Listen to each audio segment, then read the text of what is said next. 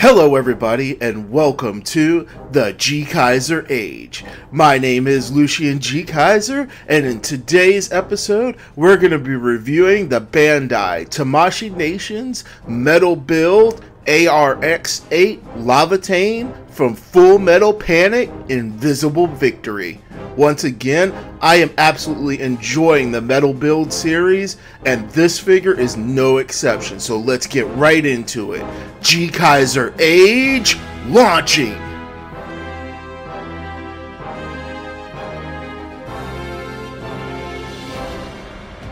Okay, so this is the ARX 8 Laevatein. It is an arm slave used by the Mithril forces, exclusively used, of course, by our main hero, Sosuke Sagara, in Full Metal Panic Invisible Victory. This is an awesome anime. It's available right now on Crunchyroll, so I definitely recommend watching it. But let's go ahead and take a quick look at the figure on its display base stand here. And I have to say, once again, Bandai really outdid themselves. This figure comes with a ton of accessories and so much detail on just everything, and it's so well implemented. Now, as you can see here on the display stand, you can pretty much put every accessory that the figure comes with right on it, and it even comes with a display bar so that it can hold up the figure. So let's go ahead and take a look at the ARX 8 Laevatein itself. Now, one of the things that I really love that Bandai did with this figure is a lot of the metallic inlay that they have on some of the detailed panel lining. So we're going to go ahead and just put it into a standing pose here. All right, so let's go ahead and take a closer look, uh, starting with the head here. So as you can see, it uh, has a lot of great detail in here on the head. So you can move to the side like that. It's got a lot more clearance than the ARX-7, which I appreciate. And you can, of course, do a full 360 rotation on it. It has a lot of fantastic detailing, including, of course, the head Vulcan cannons as you can see here on a little bit of a close-up. They're a little bit dark, but so it's a little bit hard to see their detailing, but it's really well done. And I love all the markings and everything that they have. So Bandai really did a fantastic job with this mold. It just, it feels like the animation of the actual mecha just jumped right off of the screen and I absolutely adore that about the quality that they put in. So let's go ahead and open up the cockpit as you can see the head slides down and then forward and the back part opens up as well. It's on a nice little hinge and you can see the Sosuke Sagara unpainted figure there in the cockpit. It even has a few panel screens in there. No detailing on them but still I appreciate the fact that they included it. And let's just go ahead and close that back up. So that's a great start here. Now we're going to go ahead and move on and take a closer look at the arms. So of course we got full 360 rotation on the arms. And then of course, uh, of course the swivel right there at the upper arm. Full 360 on that as well. The shoulder has a very unique feature that allows it a lot of extra range by popping out that little part from the actual main body.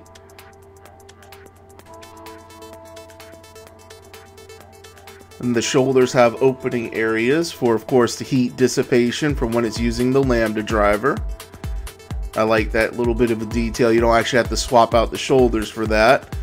Though not as greatly detailed as the ARX-7. We got the double elbow bend and then the hands are on a very special wrist. Now I'm going to go ahead and take the hand off here in just a second so you can see that. But it's basically the peg has its own little slide there right there. So you get a lot more range with the hands depending on what weapon or whatever you're trying to do with them. So you could really get some great posability out of that as well. And I appreciate that uh, extra bit of detail that Bandai went into for these figures. It really makes it helps to make it worth the price. And of course, you got the forward reach there, so it can slide forward on that shoulder very nicely. And now let's go ahead and take a look at the crunch. So we've got a back bend. They can bend back that far. And then we got the forward crunch, which is really nice. It's really well done. And I love you can see the die cast detail. They put a lot of die cast in this figure in all the right areas to really keep it firm and strong. And then you got the side tilt to side tilt. And then of course you got a swivel not a huge range, but more than enough to get any kind of pose that you would really need. And now we're going to go ahead and take a look at the hips. Now with the hips, all right, now the hips themselves, you can actually extend them down. There's this little spot so you can get more free range and you just simply pull the legs down gently while holding the main crotch area and that actually extends them down some so you get a greater range and then you can push on that same spot to push the legs back into place for the higher but with that you can get that nice high kick like you just saw. You can get a nice side kick so with the stand that's included you can make it look like he's actually kicking another arm slave. I love that. That's pretty cool. And then of course with these back plates out of the way you can move the leg back that far. That's a very good range on that, and that's going to help with some of the posability later on. And then, of course, you've got the nice double bend at the knee. Gonna move that arm out the way there. The legs posability and the stiffness of the joints, which are die cast once again, is great. You got a little bit of thigh rotation, not a huge amount, but really it's more than enough for this figure. And then, of course, we got the foot. And it's got a nice toe bend and everything. So you got the swivel to the side. A very nice range on it. Extremely awesome toe bend with a double toe bend, really. So you get that kind of extreme range. Got the side to side pivot, which is excellent too. I mean, just the way they designed everything and the fact that all the joints in that area, once again, a nice solid die cast metal design. So you're definitely going to get your posability out of this without any issues, even though the figure is a nice hefty build. Alright, so now that we've taken a good look at the actual figure itself and the posability of it, let's go ahead and start taking a look at some of the accessories and the weapons that it comes with.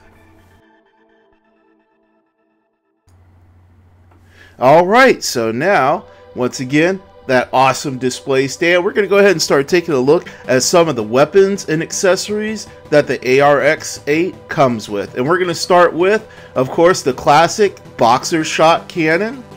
This is the same style one that is used by the ARX-7, so there's nothing really too different on here.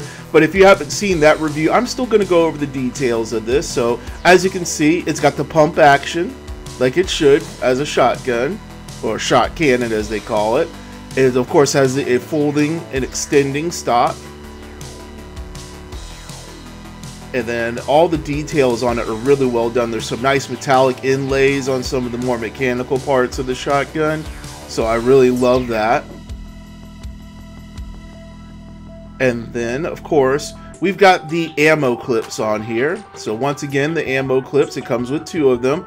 They have pegs on them so you can attach them in different ways to each other.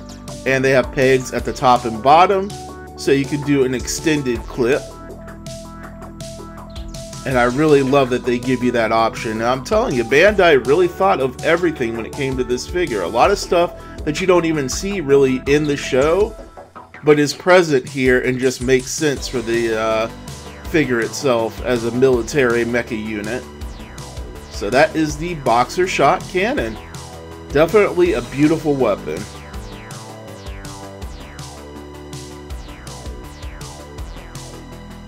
Now this is the clip for the shotgun. It attaches to the back of the figure. There's a panel that you pull off. And when you pull that panel off, it's going to give you the space that you need to put the clip on and then you can use that clip to of course put the shotgun on the back of the ARX-8 for storage. This is the same system that's used by the ARX-7. So there we go. Got the clip on there. The weapon sits on there pretty nicely. Now mine's a little bit wobbly. I'm not sure if it's just uh, the design of the clip, but still it stays on there pretty well because I mean, you know, you're not exactly going to be waving the figure around all over the place. So let's go ahead and take a look at the next set of weapons. So the next weapon we're going to look at that also has a spot on the display stand are the anti-arm slave high impact grenades. Pretty basic, nothing too extensive, but I love the fact that it's got a nice metallic top to the grenade. Now the next are the anti-tank daggers, and the reason why they're called anti-tank daggers is they actually have an explosive charge in them, so the arm slave can use them for melee combat or throw them at an enemy armored unit and once it penetrates, the dagger will explode on a timed explosion and take out the enemy armored unit. So I really love these. It's really cool. It comes with two of them, of course. Alright, and then let's go ahead and take a look at the new weapon, because those came with the ARX-7 as well. As you can see, they stow on the display base on here. Now, the new weapon for the ARX-8 are these new combat knives. And you just pull off this piece, they have little parts forming. And then you extend out the knife form. And then you just put the cover piece or the armored sheath back on there. Attaches on pretty easy and stays on there nice and tight. But these are pretty cool looking. I love the design of it and you get two of these of course now the fun part is how these get stowed on the ARX 8 so let me go ahead and grab out the other one. So now you can compare the stowed version with the actual knife out. So let's go ahead and put this one back into knife mode or back into storage mode I should say from knife mode. Put this right back on there. All right, and let us go ahead and stow these. So these are actually stowed as their stored form on the actual knees, right behind the knee armor plate. There's a little tab in there, and you just slide it right in. And it tabs into place. Now, these can be a little bit tricky because they can kind of get knocked out a little bit easier when you're posing it, like say in a kneeling pose or anything like that. But when it's in its standing form, and for the most part, they stay in there pretty well. And I'm glad that Bandai managed to fit their design into the ARX-8 figure here. So now we're going to take a look at the big guy. The big cannon. Got to move this to the side here because we need some extra room for this guy. This is the Demolition Howitzer. And it is an awesome weapon. When they actually show it in the show, it is pretty cool. So let's go ahead and pull this off the display. Just have to angle my camera down a little bit. Because, yeah, this thing is huge. Now, I love it. The display rack actually has it to where you can swing it out. And it has opening bars that hold it in place it's just a little bit tricky to get sometimes because of that. But yep, there it is right there in its folded storage form. And let's go ahead and move the display base back. And as you can see, there is the clamp that was holding it. You just swing that right back into position. I love that display base. Literally the best display base out there for a figure that I've gotten. Alright, so now let's go ahead and fold out the main cannon barrel here after taking a quick look at everything.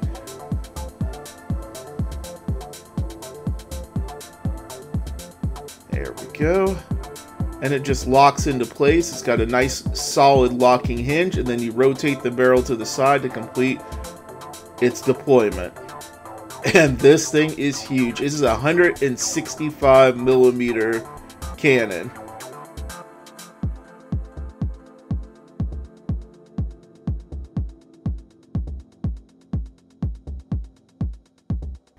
Now, that comes with the ammo clips and everything we're going to take a look at in just a second.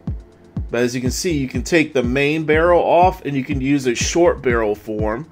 Still just as impressive and powerful.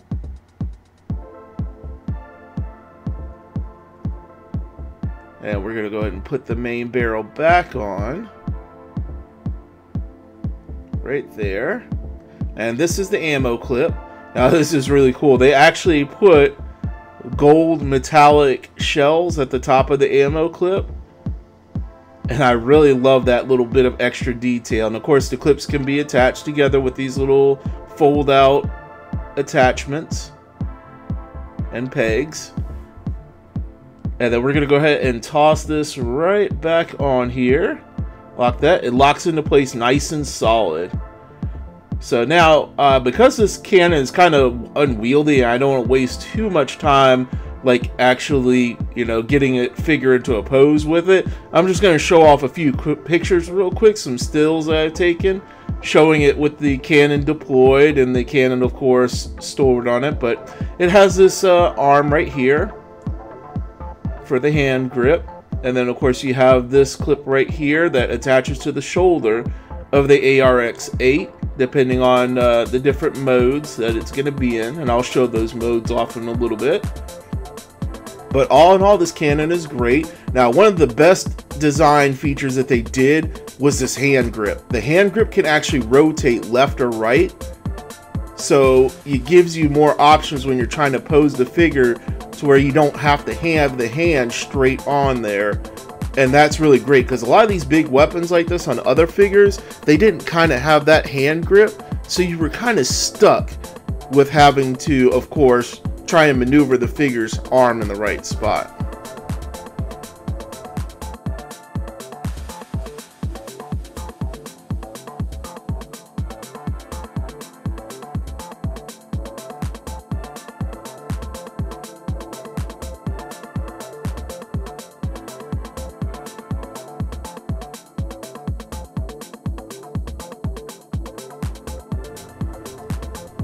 Okay, so now that we got the weapons out of the way, let's go ahead and take a look at the next very interesting system, the Fairy Feather system. This was de developed by Kaname Chidori in the anime itself, and this system is basically designed to stop the function of any Lambda driver units that are within the range of its effect. And I really love how they detailed and duplicated everything about this in the actual figure itself. So if you take a look at it, they have a lot of nice silver and gold inlay on this piece and a lot of great mechanical detail. The fairy feathers can adjust and move around, complete 360 and extend out the parts for when it's actually active. Now the some of them are a little bit hard to open as you can see, so you have to kind of get your fingers a little bit in there. But once they're open, they stay open nice and tight. And there's that nice gold inlay on the actual radiator parts. Yeah, let's try and get the zoom in a little bit more there. There we go. And you can see all the great detail that they put into it.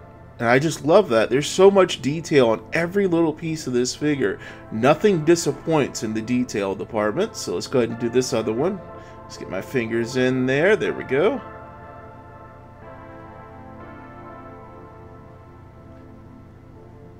But these metal builds really earn every penny that we spend for them. I'm going to tell you that right now. So let's go ahead and swap out the parts. So you just, of course, pop off the shoulders here, like with the ARX-7, when you swap out the parts for the Lambda driver shoulders. They pop off nice and neat.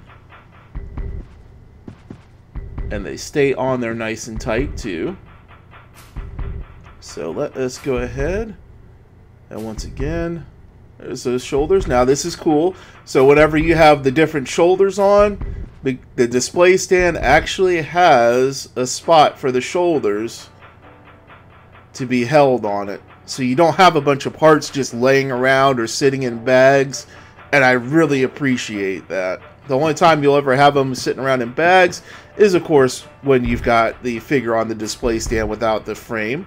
So let's go ahead and snap these right into place. Whoop. Yeah, they snap in right there.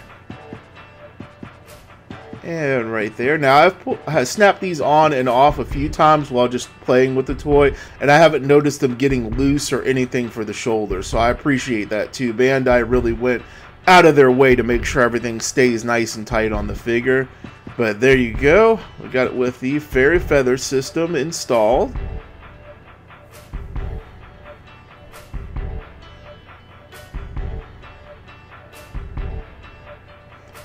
And it just looks fantastic. I just love the look of it. Now we're going to do the next part, and that is the heat dissipation filaments, or as I like to call it, the heat dissipation ponytail. And even on the display stand, there's a spot for that to be held too.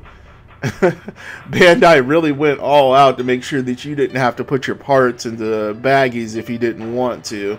So let's go ahead and install that. So as you can see, I just popped open the back of the head piece. And then we're just going to put this in. And you can, of course, put it into like different positions and everything. But with some extra lighting and everything, it just looks fantastic. And I really love that detail about it. So I'm going to take a quick look at that real fast at the figure with everything.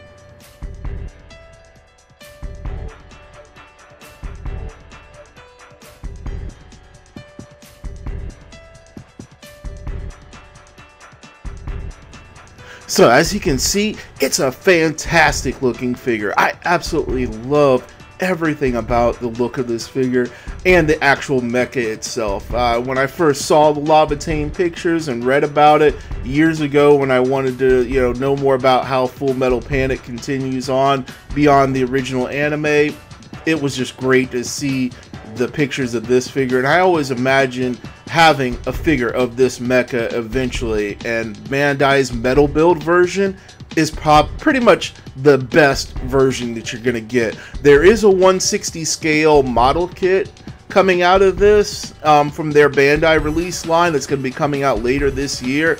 But honestly, now that I have the metal build, I, I feel I have no need to get that model. I mean, it'll look great on my shelf with my other 160 Bandai arm slaves, but this figure just does everything and then some, and it's just great. You know, display stand, detailing, posability, the accessories and weapons that it comes with. Speaking of which, let's go ahead and take a look at the next one, and that is going to be the manipulator arms. Now, these are very cool. They can actually hold other weapons, so you just pull that down and pull that piece off.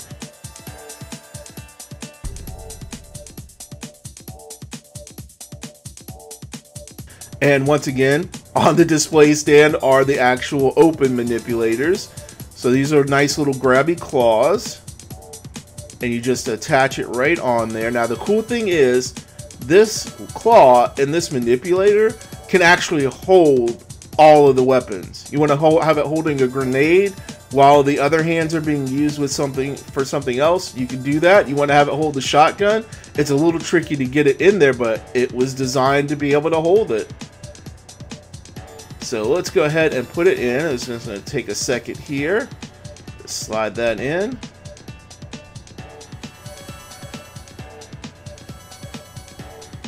But once you get it in there, it holds it perfectly. And I absolutely love this. This is just too cool.